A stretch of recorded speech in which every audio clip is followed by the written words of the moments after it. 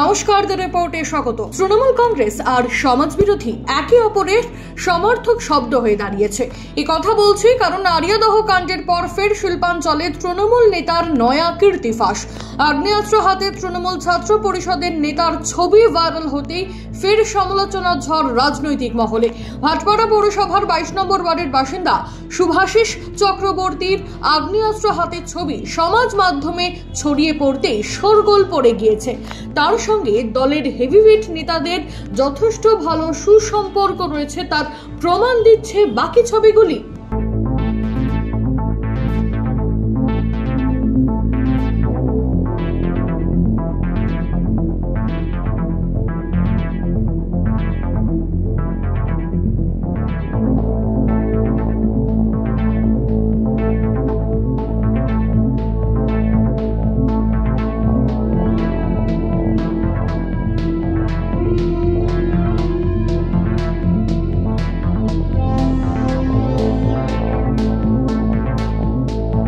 সকাল থেকে শুভাশিস চক্রবর্তীর বাড়ির তালা বন্ধ। পরিবারের সদস্যদের সঙ্গে কথা বলা না গেলেও শুভাশিস খুব ভালো ছেলে এমনটাই দাবি করলেন প্রতিবেশী। না না ও এসব না, ও খুব ঠান্ডা ছেলে খুব ভালো ছেলে। তো বন্দুক কোথায় পেল? তা তো বলতে পারব না দাদা। ওর ওর তো এইসব নেই ওর বাড়িতে এসব কিছু। হাতে বন্দুক নিয়ে ও ছবি অতি অতি সাধারণ ছেলে। আর সম্মান দেয় প্রত্যেকটা মানুষকে সম্মান দেয় খুব সাধারণ। একটা বন্দুক ছবি নিয়ে ভাইরাল হয়েছে ছবি বন্দুক নিয়ে না দাদা। এসব কোনোদিনও দেখিনি ওকে। এসব কোনোদিনও দেখিনি। ও কখন বেরিয়েছে বাড়ি থেকে? তাও আমি বলুন না, আমি শুয়েছিলাম এই এসে বসলাম আমি। আচ্ছা, আচ্ছা, আচ্ছা। আপনার ছেলের নাম কি? আমার ছেলে না আমি ভাড়া থাকি। ও ভাড়া থাকেন ও বাড়িতে কে কে আসে? বাড়িতে কেউ আসে না। কেউ থাকে না? না না। ও। কেউ আসে মানে ও একাই থাকে? না না না মা বউ আছে মা বউ আছে। তারা বাচ্চা? ওই একটাই মেয়ে স্কুল গেছে ব্যারাকপুর স্কুলে পড়ে। তারা কোথায়? মা বউ? ওই তো আনতে গেছে বাচ্চাকে। ও, আচ্ছা। এমনি কেমন ছেলে ও? খুব ভালো ছেলে। বড়দের সম্মান দেয় ভদ্র সভ্য খুব ভালো ছেলে। তাহলে পিস্তল রাখে না পিস্তল তোর কাছে কোনোদিনও দেখিনি দাদা তা বলতে পারব না ওর ঘরে তো এইসব কোনো কিছু নেই। এখন কে শয়তানি করে হয়তো পোস্ট করেছে?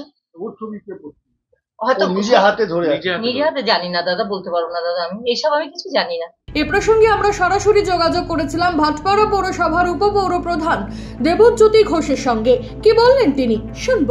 ছাত্র পরিষদের কোনো পদে নেই তো? ক্রিমিনাল ক্রিমিনালের মতন প্রশাসন দেখবে। ও যদি ছাত্র পরিষদের কোনো পোর্টফোলিও হোল্ডার হতো তাহলে অবশ্যই আমি কোনো মন্তব্য করতাম। সে ছবি থাকা মানে কি? যারা রাজনীতি করে তাদের সঙ্গে ছবি থাকতেই পারে।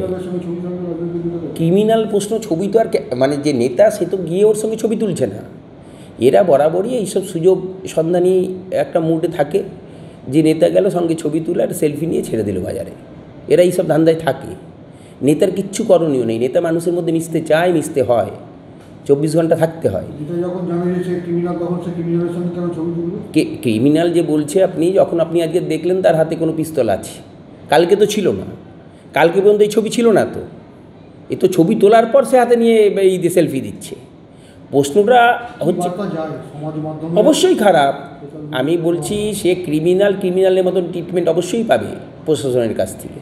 এবং প্রশাসন প্রশাসন যথেষ্ট কঠোর পদক্ষেপ নেবে আমার স্থির বিশ্বাস। বাট যেহেতু ছেলেটি কোনো ছাত্র পরিষদের কোনো পোর্টফোলিও হোল্ডার নয় সেহেতু আমরা কেন এর দায়িত্ব নিতে যাব? সে যদি সমাজ বিরোধী হয় সমাজ বিরোধীর মতন থাকবে। প্রশাসন ব্যবস্থা নেবে। তৃণমূলকে তুলোধনা করে কি বললেন বিজেপি নেতা অর্জুন সিং? শুনব। তৃণমূল ছাত্র পরিষদ কর- তৃণমূল করলে আর্মস নেওয়ার অধিকার আছে। তৃণমূল করলে আর্মস নিয়ে করা অধিকার আছে। ছাড়ুন তো ছাত্র রাজনীতি। ছাত্ররা কোন কলেজে লেখাপড়া হচ্ছে? কোনো স্কুলে লেখাপড়া হচ্ছে? সব মিড ডে মিল চুরি করার ধরনের এক হাজার কোটি টাকা মিড ডে মিলের স্কেম আসছে। যে কোনো সময় আপনি দেখবেন এদের এগেনস্টে মামলা হচ্ছে।